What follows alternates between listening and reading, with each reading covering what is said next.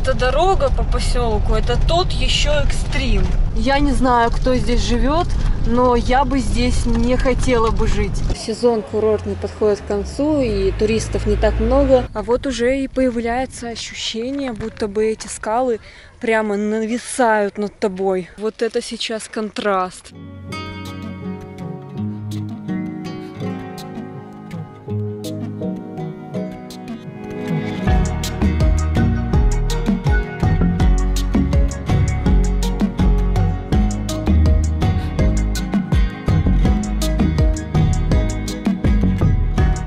Встали-то мы сегодня рано, но пока собрались, пока то, пока все. Сейчас еще поедем за мамой в Приморский, и потом уже прямо дорога у нас будет на Крым. С утра уже хорошая погода, солнечно, тепло, кстати говоря. А по вечерам холодно, поэтому мы взяли с собой и теплые вещи, потому что если идти куда-то в горы, то там, конечно, будет гораздо прохладнее. Поэтому у нас с собой теплая одежда есть, не замерзнем, очень на это надеюсь. Темрюкский район, пока-пока. Азовское море тоже пока. Едем на Черное. На шикарный вид подмаячное.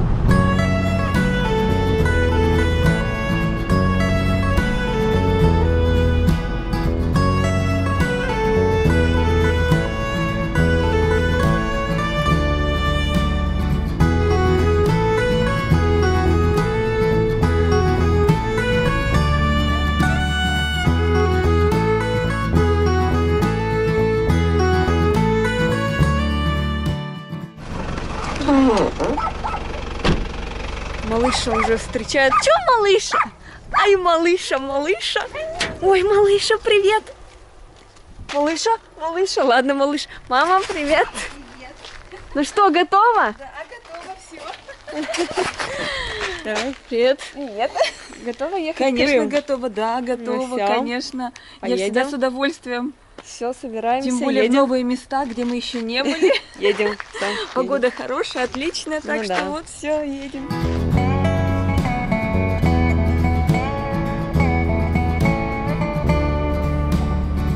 Дорога у нас долгая.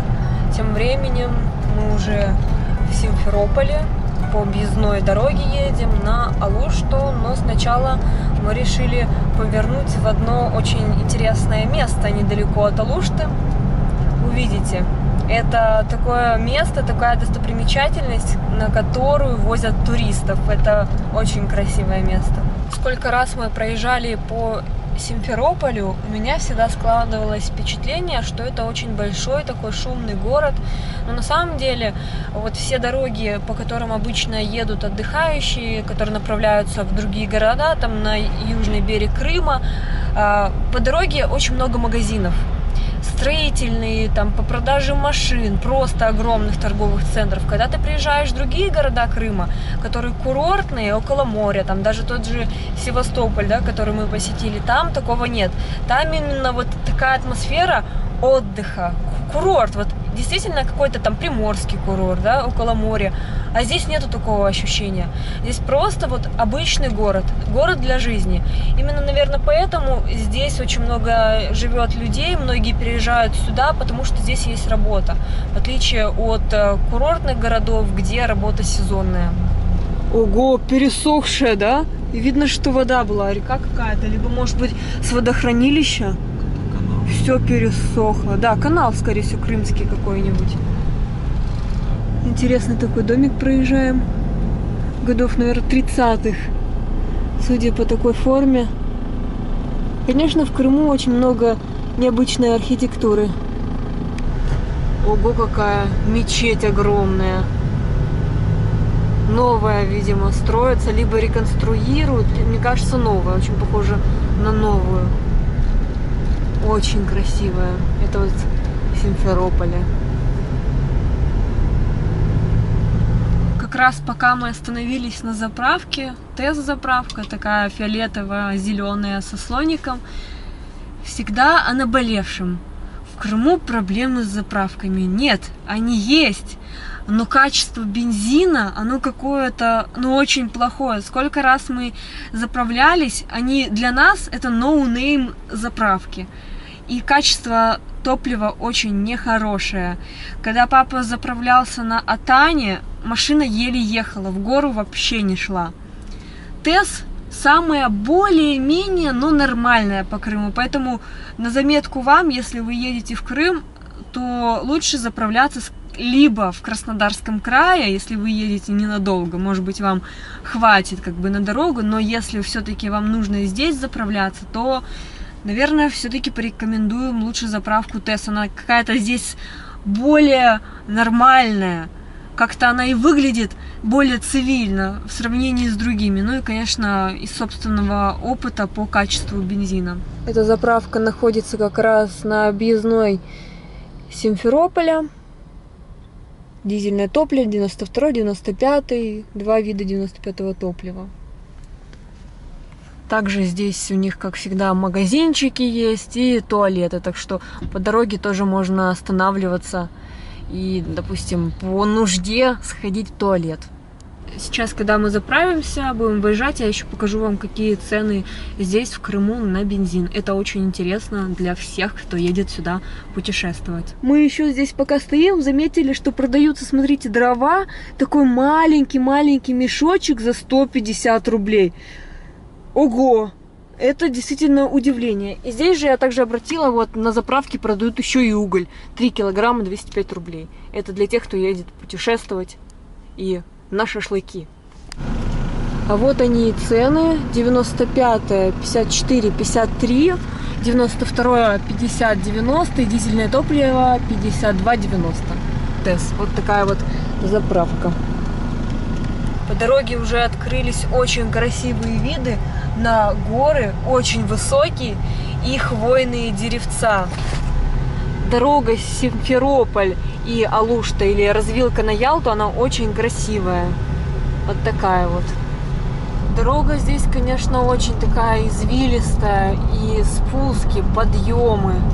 Но сейчас, понятное дело, мы едем к побережью, поэтому очень большие спуски. Через 500 метров поверните налево. Кстати, вот она же гора-то Димерджита слева. Это она и есть.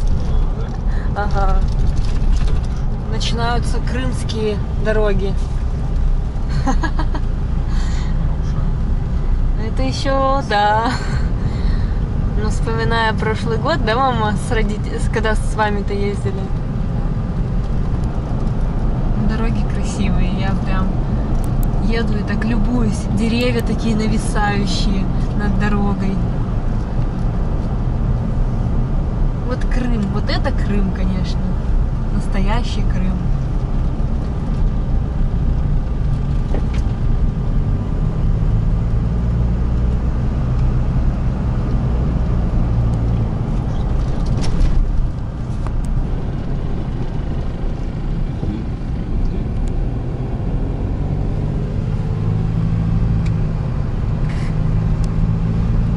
Это, видимо, здесь какая-то это, музей какой-то.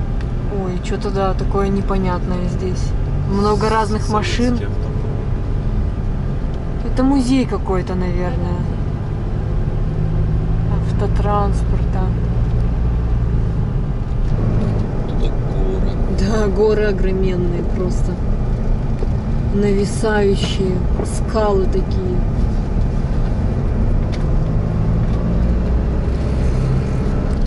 Такое маленькое село, узкие улицы, домики какие-то все пыльные. Поверните налево. Вот, кстати, как раз и указатель. И джипинг, который возит людей. Гора Демерджи, долина привидений, крепость Фуна. Покатаемся мы сегодня с вами.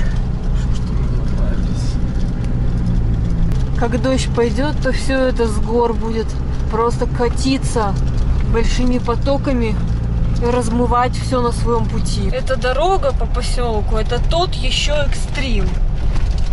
Я не представляю, как здесь каждый день ездят люди. Я бы здесь не хотела бы жить. Представляете, каждый день по вот таким вот дорогам, горам.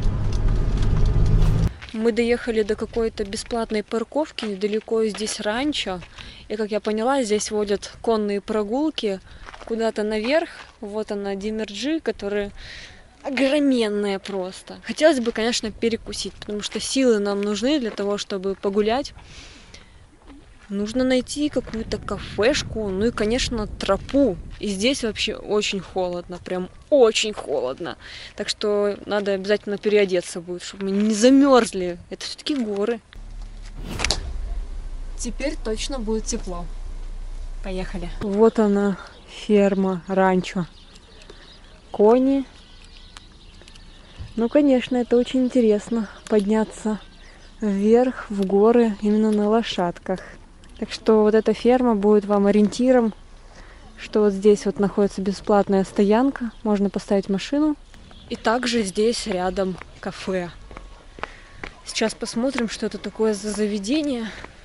Если понравится, покушаем.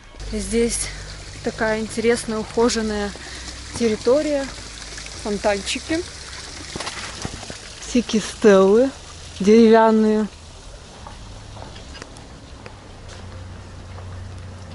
И кафешка есть. О, руки можно помыть? Сразу, лучше помыть.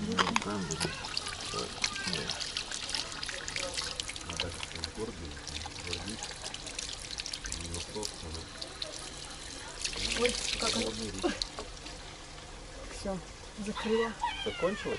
Нет, я выключила.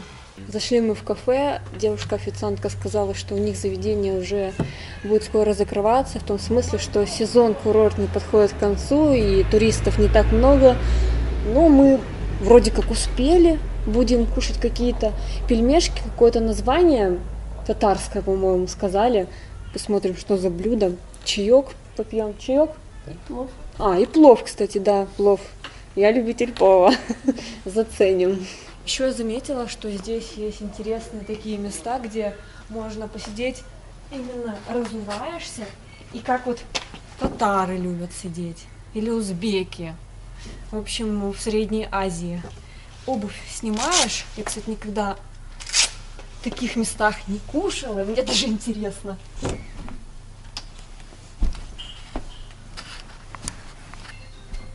Вот так вот, в таком, в позе лотоса можно сидеть кушать. Ну что, мягко. Просто к этому нужно привыкнуть, мне кажется. Мне кажется, даже это удобно.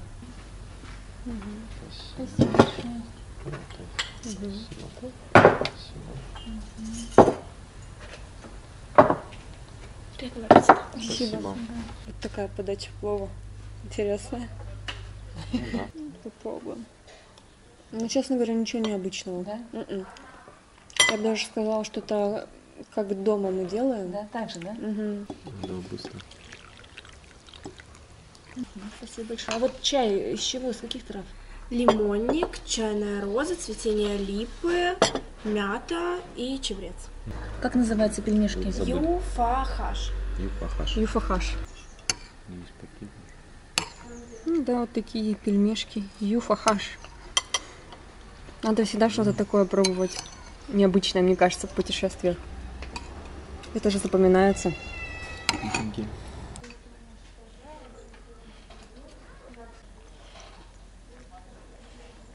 Над Димерджи, конечно, тучи нависли очень темные, даже пугающие. Хотя сегодня обещали дождь, поэтому мы отважные. И все эти горы, они тоже в тумане, в облаках. Облака очень низко.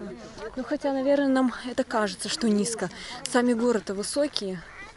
И, наверное, поэтому облака, о них ударяются. Оказывается, дорога есть, и люди проезжают на машинах, не на УАЗах, не на джипинге, а вот на обычных машинах. Правда, я не знаю, докуда максимум они доезжают.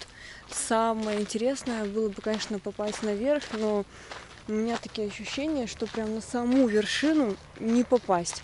Скорее всего, нужно как-то обходить, объезжать с другой стороны. Я видела на карте, что есть некое седло, где, скорее всего, на джипах и поднимаются наверх. А так вот я смотрю, что люди где-то здесь вход, и они вот так потихонечку, потихонечку идут вот к этим скалам. То есть вот к самим вот этим вот таким, ну вы поняли, конусовидным камням, но наверх, я думаю, не добраться. Вот это сейчас контраст. Солнце светит яркое, но сами горы в тени. Очень красиво.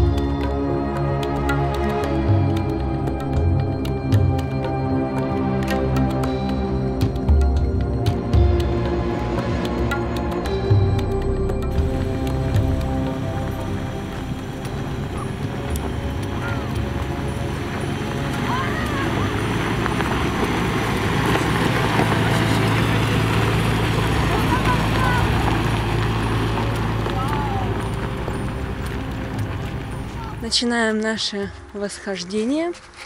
Прогулочка.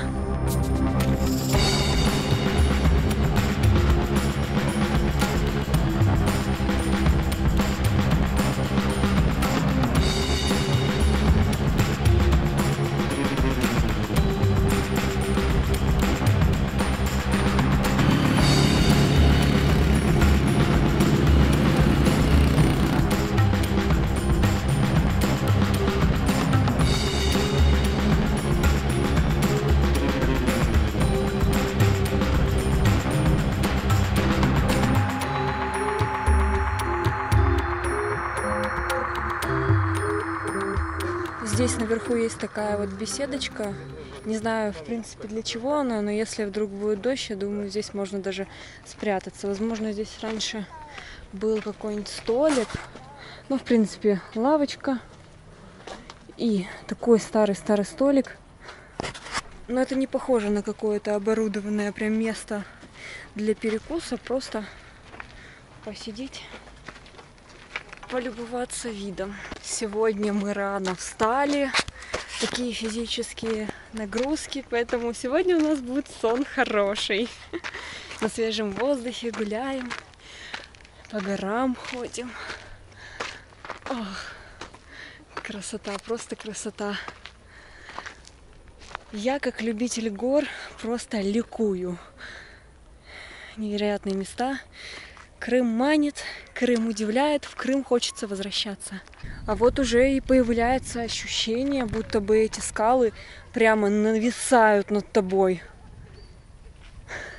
Выглядит, знаете, как, как будто конструкция такая не очень надежная. Да. Но на самом деле, я думаю, это такие валуны. Это ж надо такое природа создала. Меня очень часто в комментариях вы, мои дорогие зрители, ругаете за то, что в минуты, когда я восхищаюсь каким-то местом, например, да, каким-то событием, говорю офигеть, вы говорите, это некрасиво, нужно говорить по-другому. Так вот, это великолепно, это восхитительное место, это невероятный красоты вид открывается. Я всем настоятельно рекомендую посетить это прекрасное место. Надеюсь, так. Просто на самом-то деле, в минуты, когда ты чему-то удивляешься, у тебя весь твой красивый запас русского языка, лексикон весь, все это пропадает. Потому что ты хочешь просто вот посмотреть на всю эту, вот эту, на эту глыбину и сказать, офигеть, вот это размер. Поэтому такие вот живые эмоции, первые эмоции, это всегда экспрессия, это всегда неожиданно. Конечно, если продумывать какой-то сценарий, да, заранее там думать, ага, там я пройду 5 метров, я вот скажу такое-то слово, чтобы мои зрители восхитились моими знаниями. Но нет, это не так работает. YouTube, создание видео — это творчество, это полет фантазии, поэтому ты просто делишься вот настоящими эмоциями. Я желаю вам пережить, испытать все те эмоции, которые вот, например, сегодня мы испытываем, восходя на гору. По- порода очень такая интересная. Разные, разные, разные камушки. Прямо очень разные. Вот такие вот эти столбы. Вот это, конечно, мощный подъем. А? Ну так же аккуратно. Аккуратно это. Ну да, потому что мы не в кроссовках. Ну слушай, смотри, если там нет прохода, давай не будем подниматься. Есть, но просто одежда не та. В общем, здесь очень. Высокий такой подъем. Ну, в кроссовках легко пошел. Ну понятно.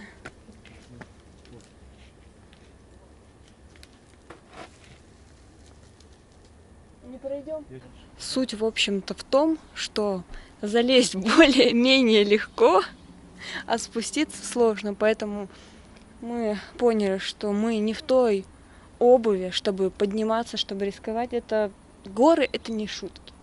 Поэтому сейчас очень медленно, тихонечко мы спускаемся. Поэтому будьте аккуратны в горах.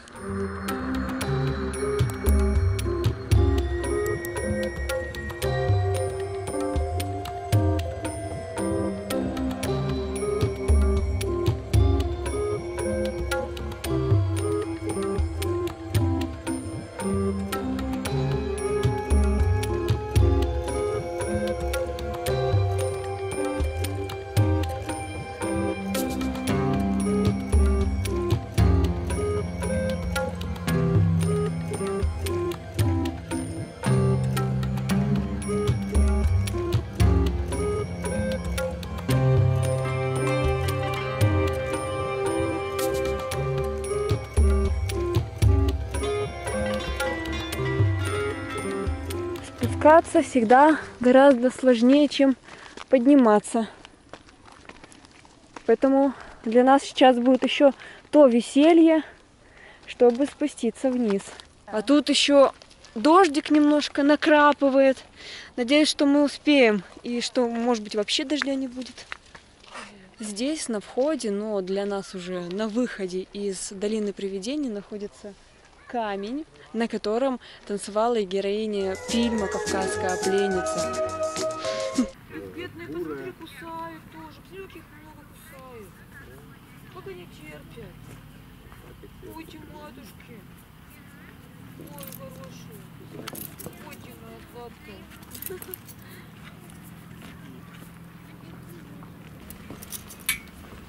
Интересно, что такое еще.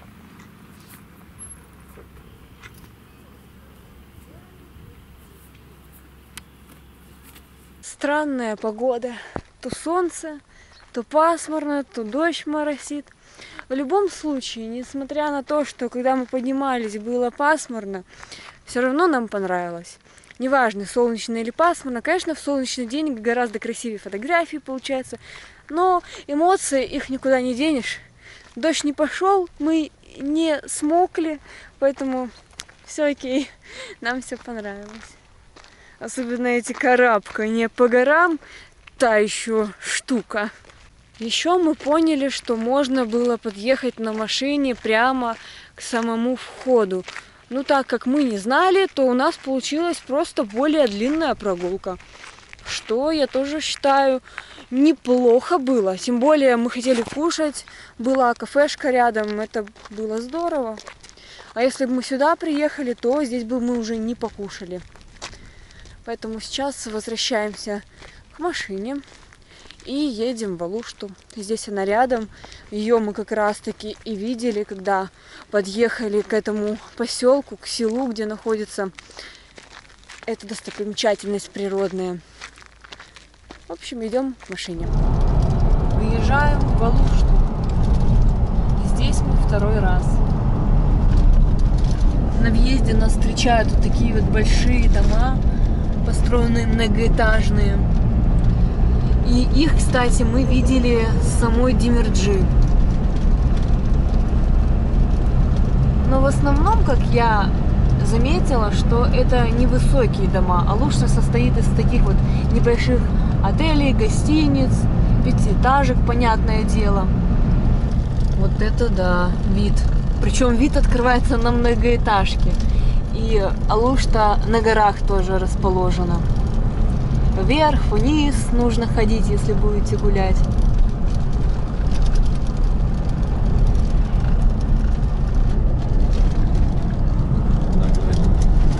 Виноградники прямо в городе. Такого я не ожидала увидеть.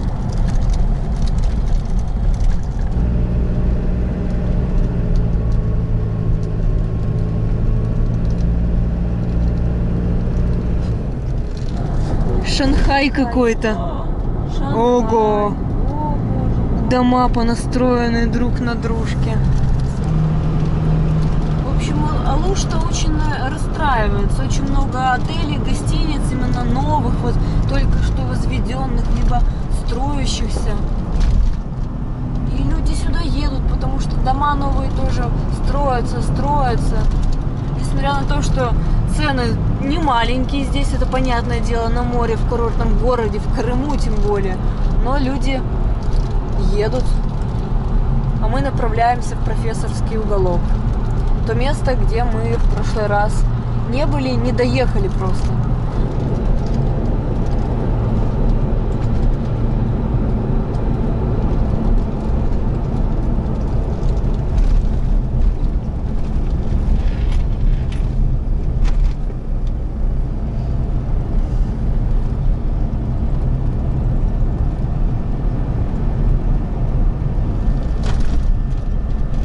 Ну, собственно, мы уже находимся в профессорском уголке.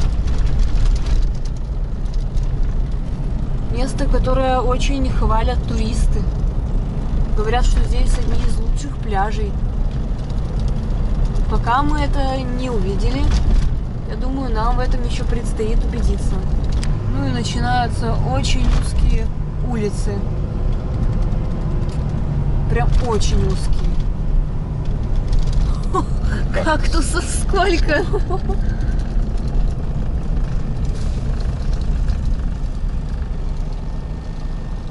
Это да. Вот это здесь улицы.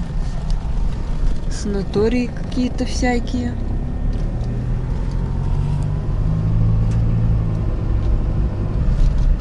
Это что за дороги? Ну, я не уверена, нет. Итак, сейчас самое интересное. Мы не знаем, где нам снять жилье, поэтому мы сейчас будем гулять и искать, собственно, где мы сможем переночевать. Нам нужно буквально одну ночь поспать, а потом мы планируем ехать в Ялту. Ну вот пока походим, посмотрим. Мы на набережной находимся. Так как мы приехали сюда на машине, хочу сказать, что здесь просто не провернуться. Я считаю, что в таких курортных городах, где узкие улицы, нужно вообще запрещать людям проезжать сюда на машине, чтобы здесь работал исключительно общественный транспорт. Потому что ну как разворачиваться на таких узких улицах? Абсолютно нету парковок, и это создает особый беспредел на дорогах. Огромные волны сегодня штормит. Насчет цен в Крыму на съем недвижимости. Я просто обалдела от цен в Крыму. Такое ощущение, что в Крыму люди пытаются нажиться просто, вот как будто хапуги, знаете, цены уже стали сочинские, хотя это какая-то Алушта, это совсем небольшой город. Когда мы ходили вечером, мы увидели стоянку. Но знаете, сколько стоит стоянка в Алуште? Есть у нас вариант 900 рублей. Ищем. Какая помойка? Что Мы сейчас переночевать? только были. Какая помойка? Нормально, просто люди живут не здесь, на улице.